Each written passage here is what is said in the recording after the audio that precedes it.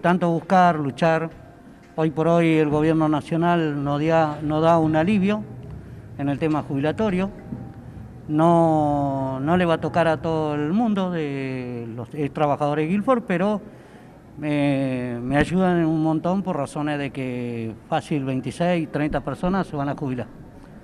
Eh, bueno, lo más importante es esta posibilidad de que abra la empresa nuevamente. ¿Cómo, cómo se Sí, esa también, esa esperanza la tenemos. Yo tuve el día lunes con un empresario, el viernes anterior también tuve con otro empresario.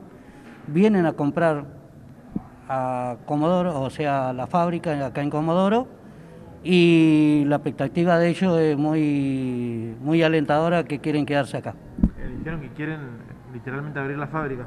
Exactamente, esa es la palabra exacta de, reabrir la fábrica, bueno, pagar las indemnizaciones por supuesto y reabrir la fuente de trabajo que sería muy fundamental para nuestros compañeros que hoy por hoy no, no alcanzaron el beneficio que salió a nivel nacional, que es la jubilación.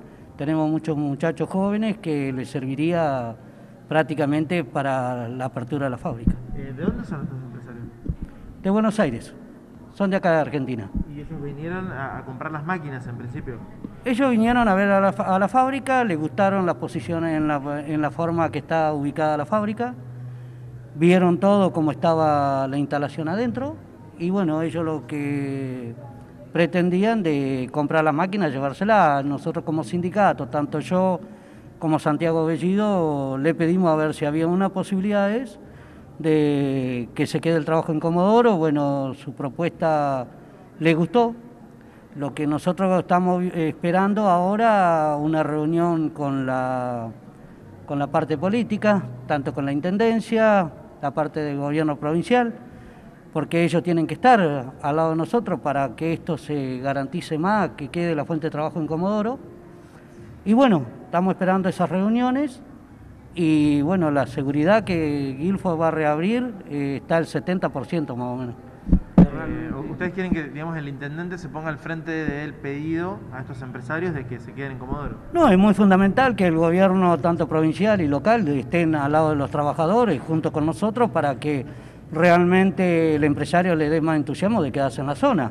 Porque lo que nosotros buscamos es lo siguiente, de que no quita de que le van a pagar las indemnizaciones que nos debe la, la persona que se fue, que dejó abandonado esto, pero qué mejor que esté la parte política apoyándolo a nosotros por la fuente laboral. Así que yo pienso que con ello al lado sería más factible de, de que el trabajo quede en Comodoro. Usted vio de que a nosotros se nos jubiló mucha gente, y si toca reabrir va a haber posibilidades para gente que nunca fueron textiles también, en fuentes de trabajo. De los ex Guilford, ¿cuántos podrían eh, hoy estar en condiciones de trabajar?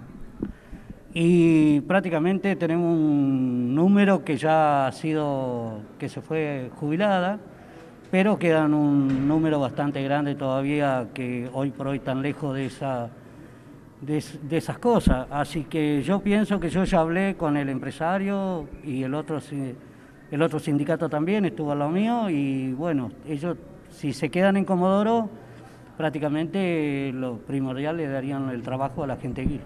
¿Cuándo habría alguna novedad? ¿Ellos tienen que volver? ¿Tienen que juntarse con alguien? ¿Qué, es lo que dijeron los empresarios estos? Y ahora en octubre sale, en octubre, en noviembre sale ya algunas ventas, así que yo pienso que el doctor Echelini está al tanto de eso y lo más pronto quieren cerrar todo.